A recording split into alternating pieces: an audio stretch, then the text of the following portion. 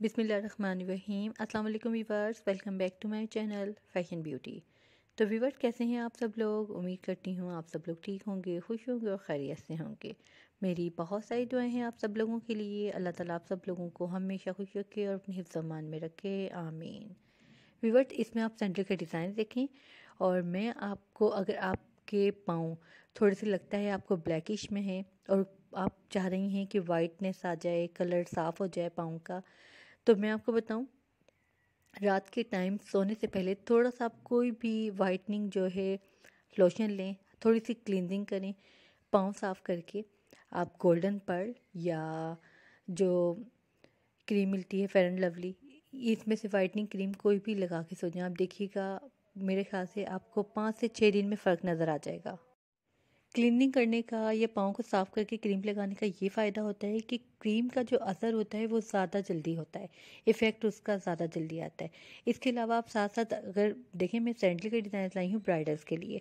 आपकी अगर वेडिंग है तो साथ में आप एक और टिप यूज़ करें। आप एक लीमू लें उसको सेंटर से काटें और उसमें दोनों साइड पर, यानी कि उसमें चीनी के साथ मिलाकर अपने लीमू को पाँव पर तकरीबन चार से पाँच मिनट तक रख उसके बाद आप उसको धोएँ नहीं। जो उस पर चीनी लगी हुई होती है, उसको थोड़ा सा ना आपने रब करना है।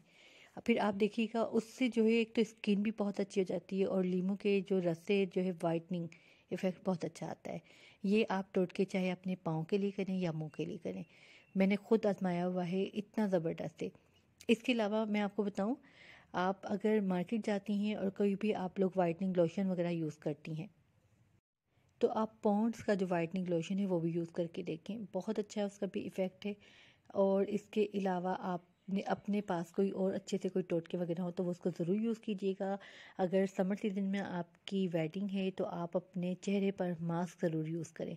चाहे मुल्तानी मिट्टी का मास्क यूज़ करें, चाहे आप उसमें, जो खीरे का मास्क होता है वो यूज़ करें। आप देखिएगा उससे डेली आपके यूज़ करने से आपकी स्किन इतनी प्यारी हो जाएगी कि जब ब्राइडल तैयार होती हैं तो उसका इफ़ेक्ट जो है अलग ही नज़र आता है।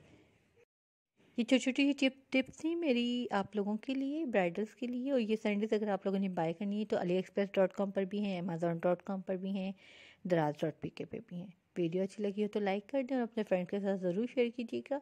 और अगर आप लोगों ने मेरे चैनल को सब्सक्राइब नहीं किया हुआ है तो प्लीज़ सब्सक्राइब भी कीजिए। साथ में एक बेल आइकॉन है, उसको भी प्रेस कर दें ताकि हमारी हर आने वाली वीडियो का आपको नोटिफिकेशन मिल सके और आप लोग देख सकें। तो इंशाल्लाह मैं एक और न्यू वीडियो आप लोगों के लिए लेकर जाऊँगी। नेक्स्ट वीडियो में इजाज़त नेक्स्ट वीडियो तक के लिए इजाज़त चाहूँगी।